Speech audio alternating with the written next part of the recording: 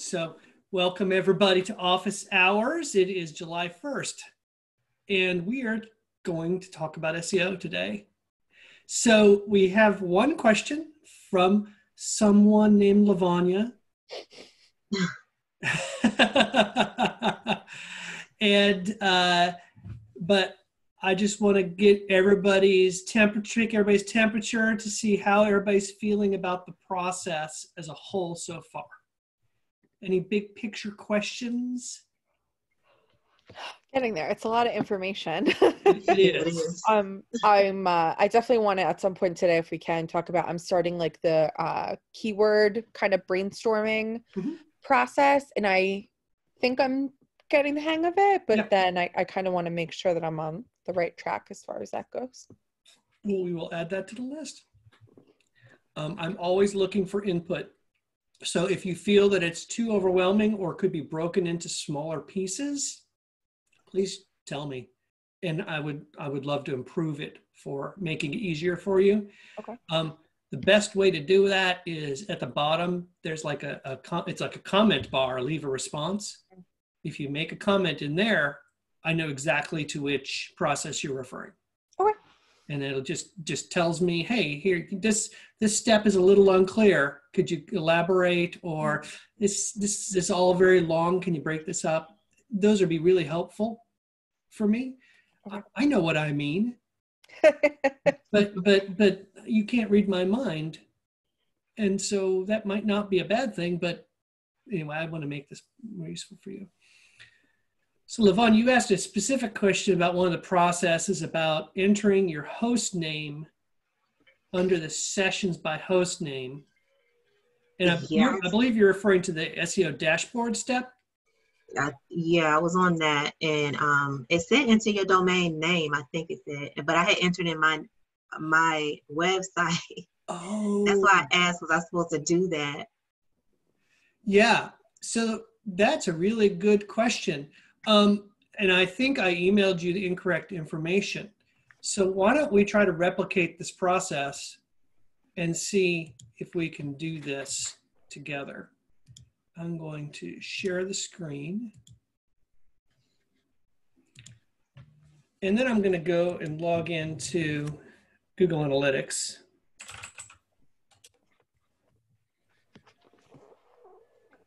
I'm actually going to stop sharing my screen because I don't know which client this is going to go up to, and I don't want to share client information that don't have permission. So let me just log in and show my own account. Yeah, can't show you that. I can't show you mine.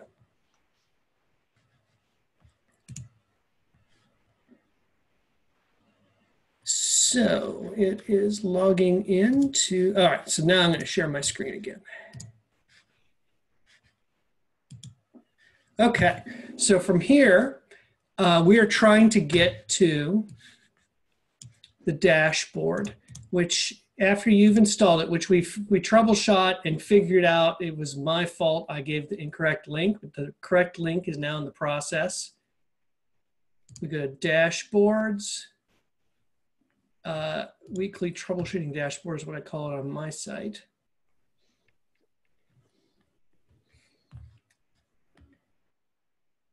And under sessions by host name is the dashboard item on the far left bottom. So what this data point is trying to show us is which websites have our Google Analytics code on them um, why that's important. Sometimes, first of all, um, sometimes we'll uh, enable certain tools or uses to use our Google Analytics code. They'll invite us to. For instance, MailChimp might do it. Uh, YouTube might invite us to share our Google Analytics code on their site. Um, that's a useful service, but it can cloud our data. And so what we want to know when we're doing an SEO campaign is to which website the traffic is going. This is also helpful if, for instance, your website runs what's called a subdomain. You know, most of our websites, pardon me, run off triple w, www.whatever.com, or they'll skip the www. But sometimes we'll set up a website that's blog.ourwebsite.com. And we need to make sure we're reporting traffic according to the domain name that it sits on. And this, this why I put this in the dashboard is to help us make sure that most of the traffic that we're talking about is on our main website and to identify if there's any weird problems. So you can see in the last week, all the traffic, all 36 sessions, and I know it's all the traffic because I can compare the sessions by host name to the overall sessions in the upper right hand, upper left hand corner are 36. So that means all the traffic was on www.reliableacorn.com. So I know that everything's working as it should. Um, if I had a blog.reliableacorn.com, I should see some of that under blog.reliableacorn.com. But knowing that how much of that traffic going to the blog and how much is not might affect how I set up my analytics account or something like that. Another thing you might see under host name is what they call referral spam. Um, I don't know how experienced you two are with Google Analytics, but sometimes if you go in, you might see these weird like websites that look like they're sending your site traffic. Have you ever experienced that? Think so. Yeah, that is someone who is trying to make it look like you're getting traffic from a website, but you're not really getting traffic from that website. They're trying to make you click and look in their website by inserting information into your Google Analytics account. They're not hacked you, Don't, it's everything's safe. They're just trying to trick you. And so you also see that here. So this will also tell you if there's a problem with people inserting data that's not true. So Lavanya's question is, do we need to enter our sessions uh, by our domain under the sessions by host name? Yeah, like I put my actual website name there. Yeah, yeah. So, okay. So the answer is and uh, what I've done here is I haven't done that. Where would where would you have entered it, Lavonia? Scroll down. I, I, don't know. I, okay. I saw where it said um, it might have been it was blank and it said domain goes here. That could have been it. Oh, okay. Um, huh. I wonder. I wonder if I'm using. Uh, I'm sent you an old version of this. So, I what what I emailed your answer and what I'm going to go back and stick with is the idea that you shouldn't have to change your session, any enter in your domain name into this widget because what you want to know is all the domain names that are showing up for each of the host names. So this okay. will help you determine whether or not uh, you have any problems with your Google Analytics code. It might have been under this add a filter.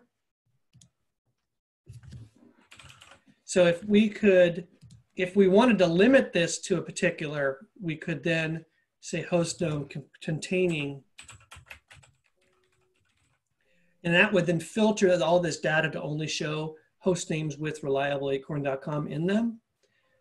But because I like to use this to troubleshoot problems, I I'm gonna recommend you not change that and just leave it so it shows you all the different host names.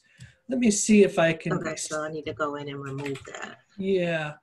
Let me just see something. I'm going to extend my data out really far and see if I can show other host names. Ah, okay. So here you see a couple of it, things under the host name. And this is why this is really helpful. Over since January 24th of 2019 through June 30th of 2020, yesterday, most of my visits came to reliableacorn.com, not www.reliableacorn.com. So what that tells me is until recently, and the reason I know it's recent is because the last week data was all triple W. I was running reliableacorn.com, not www.reliableacorn.com. It wasn't until recently where I converted my website to use the triple W's. So this would be helpful if I didn't control my own website and I noticed someone made that change for me. This is where I would find out, oh my gosh, now we're running on triple W. Um, it doesn't really matter whether you run on triple W or not, but what matters is you pick one and you stick with it. And if you need to change it, you need to set up a redirect to get to the proper one.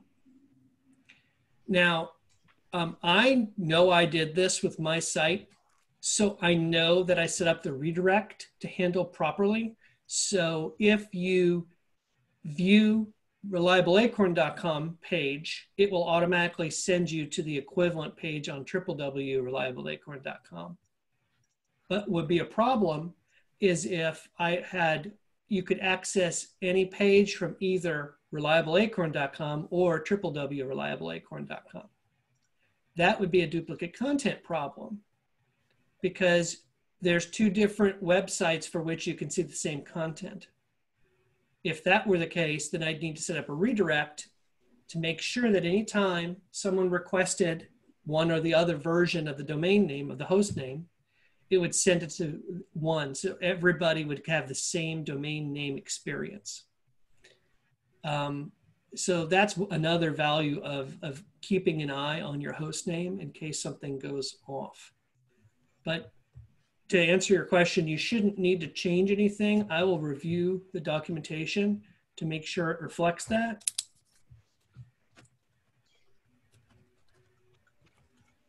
I think I was just um, after I forgot when I put it in. Was I looking at the? I can't remember why I put it in. If it was during the video or just because I saw it was there. I think I put it in after you sent me that link. Okay. And it was um but I don't I'm not I don't recall if it's in the instructions. I just saw okay. domain here. It could it could be like uh make sure you name your dashboard to put your domain domain name in it.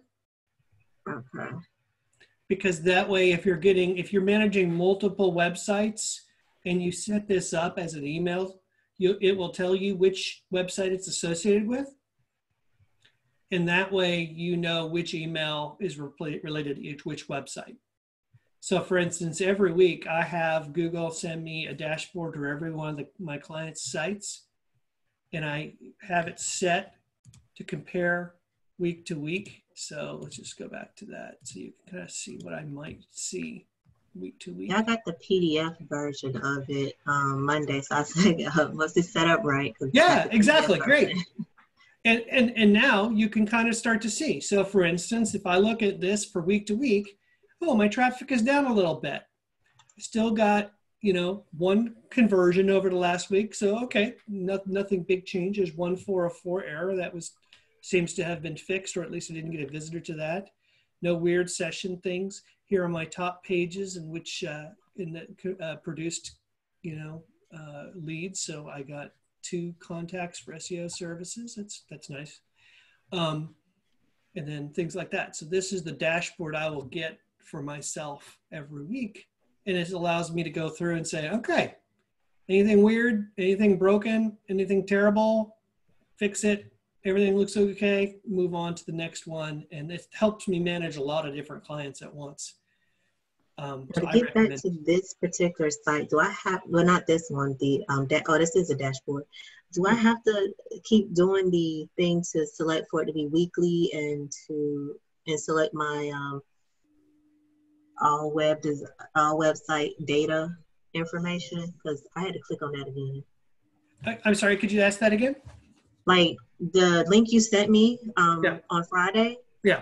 Do I have to keep clicking on that? And then when I click on it, I still have to go in and select weekly SEO. Well, I think I well, I think I followed you through. Yeah, I followed you through that on on the uh, on the uh, training. Um, and then at the top, select my uh, like you have all website data. That's what I have too. Yep. So do I have to go in and select that each time, or it and it won't, or will it, is, or is it supposed to open with all my data already in it?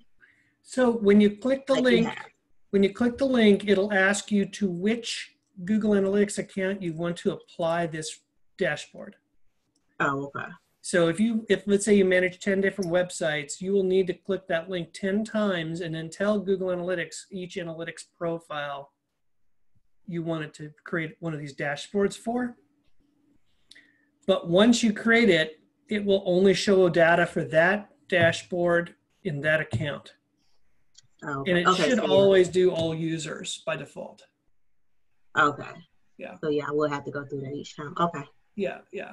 Um, but I, I think it, what you'll find is it saves time because it's, first of all, we all wish we could look in Google Analytics every week, but we never have time to do it. And this way, at least you get an email. So it kind of nags me to do it. But also, uh, yeah, uh, if I have, if I find something weird, I can always delve into and look and see what's wrong and figure out the problem. But most of the time, everything's running fine, and it's just a reassuring thing. So that is the dashboard. Yeah, I'm gonna go through that part again because I, I don't remember how I got there, but I didn't put the www in front of mine. Yeah. I just put my website.com. Okay. Um, but I'll go through it again. I don't remember okay. how I got there. Cool. Cool. Well, I, I hope it's helpful. Yeah, it was. Okay, good, good. Well, Ali, you you had some questions about keyword research. Yeah. Um. So I started doing like a spreadsheet for it um, and I just want to make sure I'm on the right track. Yeah. I'm doing it. Um, well, you know, one of the things with keyword research is it, it's great to ask other people. So maybe Lavanya and I can look at your list and help you brainstorm. Yeah. Uh, you might share in your screen? Sure. Let me see if I can allow you. Yeah.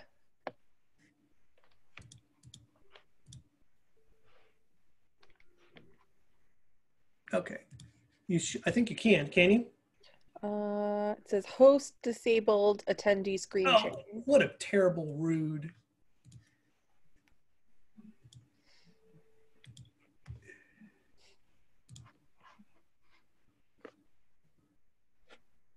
Okay. There you go. Try it now. There we go. Okay. Um, okay. So this is what I kind of have been working on dividing like each page that I want to direct traffic towards. Okay. Um, so our main page, parent resources, and then working on blogs right now. Does this look like how it should look, or? So before we start this, give us the really quick introduction to what your business does. Sure. Um, so we provide um, ABA therapy, which is also called applied behavior analysis for individuals with autism.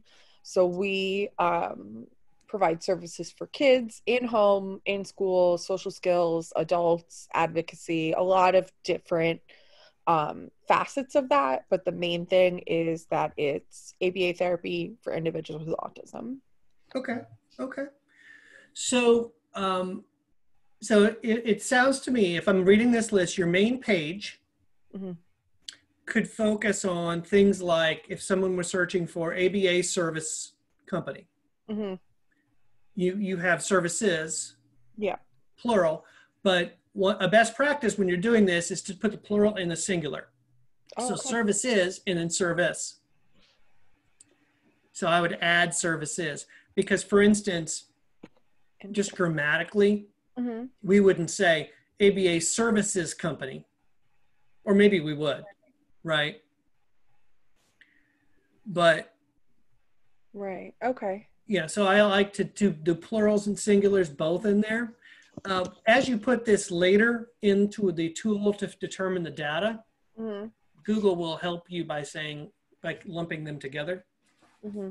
But okay. um, yeah, so ABA service company, ABA service provider, ABA service meaning, ABA service for autism, ABA service examples, so th- that from what I'm seeing on this list, those are do, do those describe the services you provide? Yeah, and that's what I was trying to do take keywords both from our own website and then kind of plugging in those main words into a Google search and seeing what people were searching for. Yeah, yeah, um, yeah. and then like interchanging the like the descriptor, you know, and with the different service and then the the kind of end of it. Um mm-hmm. I, so I think you you got you got a really great start. There are a couple of tips I would give you. Okay. So you, this is a little dicey because you guys provide therapy services, mm-hmm. and so I, I, don't mean to sound mean when I say the following. Mm-hmm. You want to help people, but you're helping people in order to make money. Yeah. Right. Right. I mean, that's the truth, right? You you and the more money you make, the more you can help people, right? Like, yeah. so we don't feel bad about making money, but but when we're looking for searches, we have to consider what's called user intent. Mm-hmm. So someone who searches for ABA service provider, mm-hmm. they're looking for someone who can provide a service. Right. And presum- presumably, they're going to pay for that service. Right. So that intent on that keyword is really strong as far as becoming a customer. Mm-hmm. ABA service meaning could be someone saying, Hey, I've heard this thing called ABA. Mm-hmm. I don't know if it's even for me, but what does it even mean? Okay. The keyword intent on that is low because someone isn't necessarily ready to become a customer. Okay. So if you were to rank for ABA service meaning, right. That first of all would be very hard because there's probably a lot of websites that talk about the meaning of it. Right. But but it's also someone who is a looky loo who's curious maybe possibly one day they could become a customer or mm-hmm. client but but it's not directly going to become a customer so so meaning would be probably a better for a blog post mm-hmm. okay than it would be for a main kind of service page where Question. you're trying to say hey by the way we're an aba service provider we can help you if you're at that point, you already know what the meaning is. So it might not be the place, but but even if you were to rank for that on that service page, it wouldn't help your business. Right. It just it, it would get a lot of if, if even if you were ranked for it, it would provide a lot of traffic, but that traffic wouldn't become customers. Yeah, I see what you're saying is to focus on the intent of each page. So something like the blog page, we might not be targeting converting into clients, we're getting them interested in the company and the resources first. Right. So ABA for um, kids or children. Yeah. Okay, you might want to add children on there because you might have somebody that has a pet peeve like my grandmother. she doesn't believe in saying kids because kids is like a baby goat. so. I hate when people say kiddos. It drives me crazy. Yeah. I've gotten yelled at for saying kids. Yeah, yeah, that's a good point. Um, so yeah, so that might make a good blog post because the blog posts later, as you go through the process, you'll find the blog posts are all about supporting the service pages. So a, a blog post talking about the meaning of an ABA service could be really nice, but it's not a thing that's going to become a customer. They're still in that consideration thing. So uh, I was marketing parlance. We talk about what's called the funnel, mm-hmm. which is at the top of the funnel we got a lot of a large group of people because there's a lot of people who are like don't really know they're doing some investigation they're trying to understand what they need you know uh, someone might search for autism mm-hmm. in light of that they, they, their child just recently got diagnosed they're trying to learn more right maybe right. it's not their child maybe a grandchild got diagnosed. Maybe their new neighbor has autism and they're searching for autism to learn more. Mm-hmm. So there's so many people who could learn, search for a very broad phrase mm-hmm. that not all those people even potentially could be your customer. Right. Right. If I'm a neighbor of an, an autistic fam- child with a family with an autistic child, I'm not going to hire you. I'm just kind of trying to understand so I can be a good neighbor and understanding right. and helpful. So that's called a, a high in the funnel kind of search Mm-hmm. because it's very broad and informational. But what we want to do is we want to be as focused as we can with still finding enough people searching for it. So, for instance, you know, ABA service is a little more specific, Mm-hmm. but it's still pretty broad because it doesn't necessarily mean someone wants to hire someone, Mm-hmm. right? That's why I like provider or company, Right. right? Because now it's starting to get to I want to pay money for this, right? Right. Now, so that's that's one way to think of this is is to really kind of uh, divide your words into hey these are broad kind of things Right. that are informational in nature. Maybe they're even more specific, but still pretty informational. But for our core, like landing pages that really pr- promote the services we provide, we want to really have a good focus of keywords that are are the keywords that will produce income, Right. The symptoms um, be one of them, like symptoms of autism. Um, Is not that for, specific or? yeah, no, I mean not for us because Oh, okay. we don't do um diagnosing. You know, you Oh, would okay. come to us after the diagnosis. Oh, okay. Yeah, that's a great that's a great observation, great question, and and you handle the that's exactly the right answer, right? Because now you might have a blog post to talk about symptoms of autism, Mhm. right? But that's not something that would be necessarily Driving related traffic, to yeah, for our yeah. Oh, So, okay. particular service. yeah. So- yeah. And I think like the so the easiest starting point for me with SEO right now is our blog because we do post at least weekly, um, usually multiple times a week. And where we've been failing with that is our SEO is not consistent. Like our keywords are blog specific rather than tying the whole website back to that blog. So would you recommend there being a key phrase that we use on every single blog post and then adding a descriptor to it that is specific to that blog or Okay, that's a really great question. Um, then part of the process is it, there is a step called build an SEO blueprint. okay And what it's trying to encourage you to do is say, for these topics, we're focusing this page. right But for these topics, we're focusing that page. Mhm. And we're focusing another to- idea, a set of topics on this page, and so forth. Mm. So, what's important is to have a focus page for every idea, not keyword, idea. So, an ABA service company is probably the same thing as an ABA service provider. Right So we wouldn't want two pages, one on ABA service company and one on ABA Mm. service provider, because it's the same thing. Yeah. It's two different ways of referring. And we might want to include on that page, you know, we as an ABA service company, we provide all kinds of services. Yeah, you, you know, we want to include these ideas, multiple keywords on one page. We don't want to have so focused that every page is one and one only keyword each right page is a topic. And the SEO blueprint step helps you say, here's our keywords. What, where do we focus? okay. And so what we end up doing is saying, here, here's our map. We will identify things like, oh, we don't have a page talking about this topic yet. We should write one. Or I'm writing a blog post and I'm talking about the services.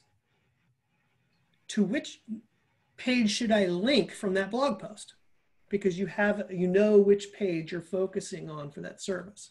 So that blueprint step is a really important part of this because it helps you break it out and start to have each page focused.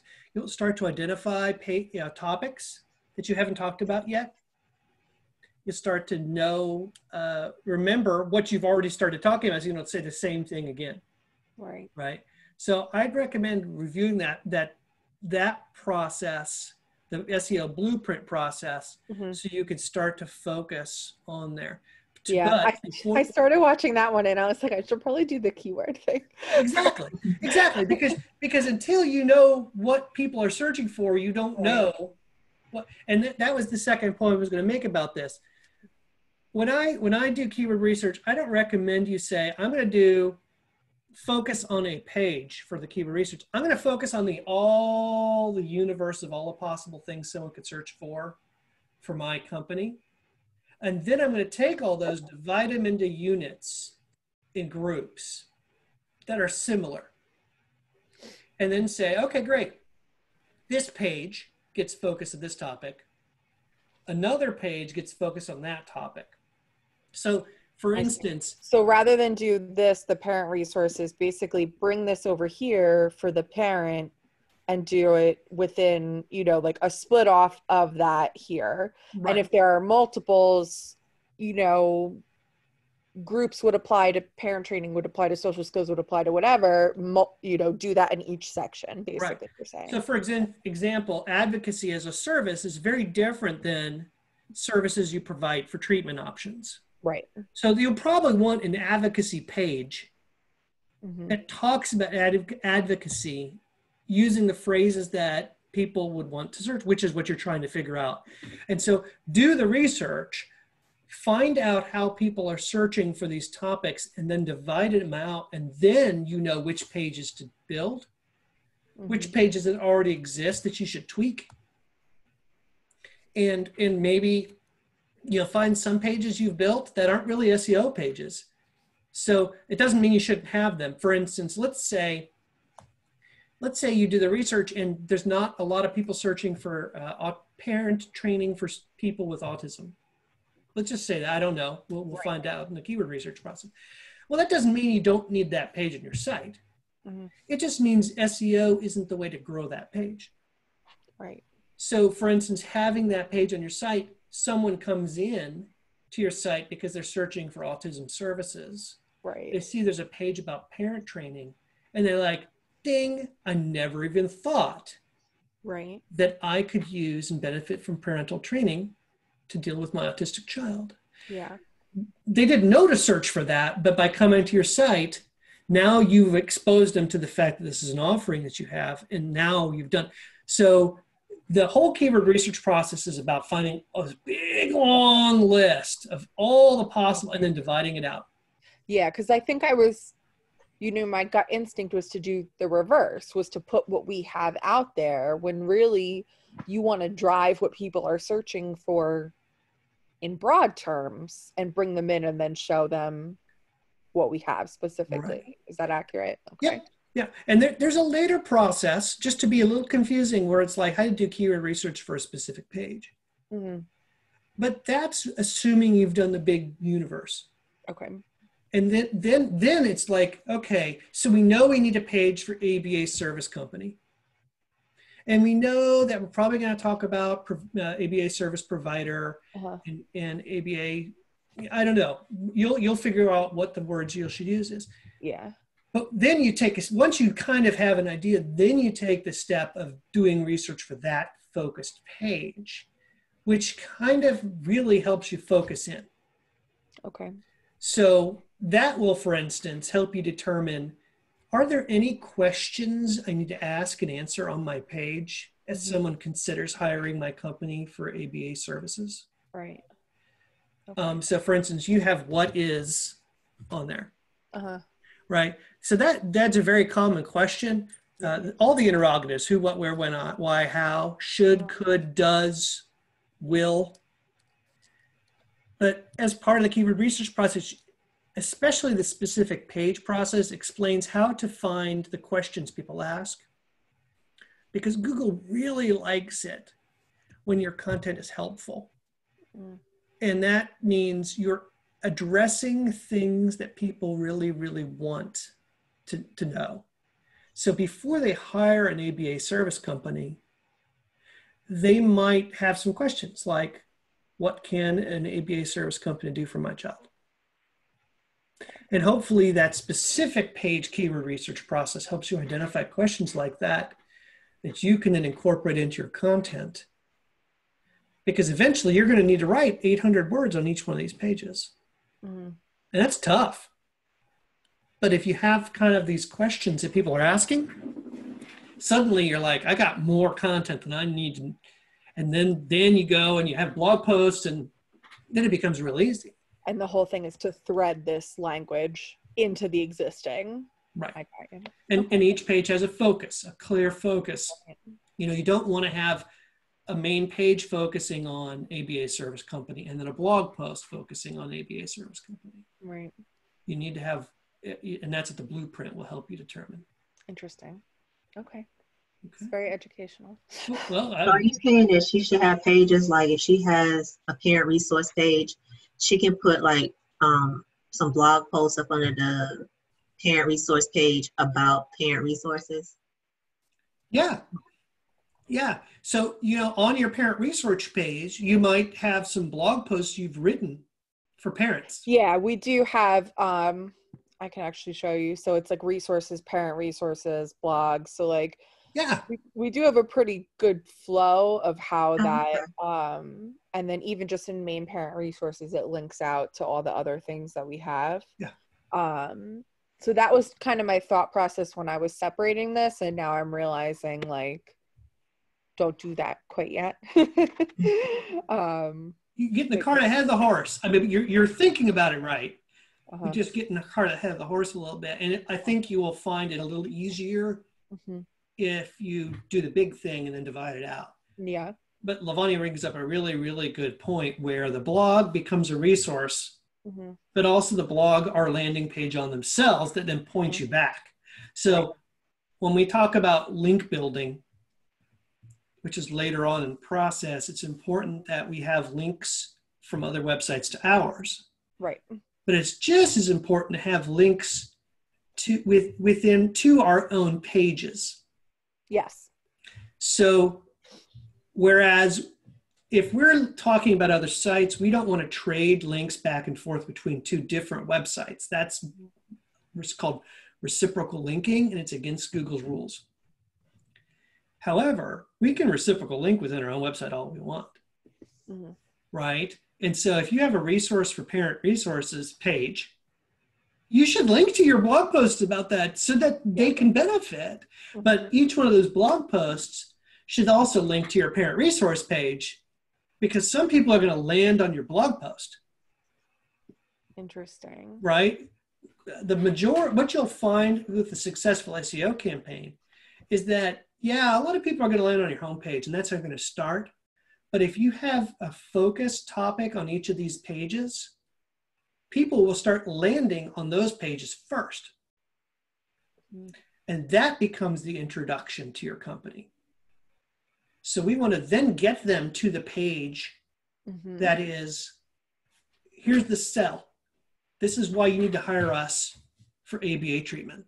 Right. And that's where we're failing right now because we do the blogs, but we're not linking it back to the main page. So they read the blog and then, unless they take it upon themselves to pursue more info, we're not redirecting back to the okay now hire us i see exactly what you're saying and it makes exactly and, and now we all we should all be realistic about the fact that our blogs are always going to get more traffic in in uh, and for people who aren't ready to convert because the blog is higher in the funnel yeah right support for parents of special needs children yeah it's very very broad does that mean that was a wasted blog post? No, absolutely not. That's a great blog post.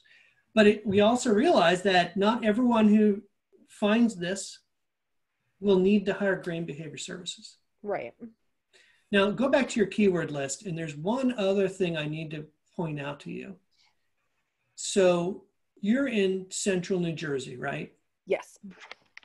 Can you help somebody who's living in Charlotte, North Carolina? Right. Yeah. So don't forget to explicitly state yeah. where you are. That could be a town near you. You know, how how do customers potentially refer to your area? By county? Right. By central New Jersey? By New Jersey? Like. So it if you were to rank for ABA service provider and someone in LA were to find you, you might not be able to help them. Right. So let's be specific.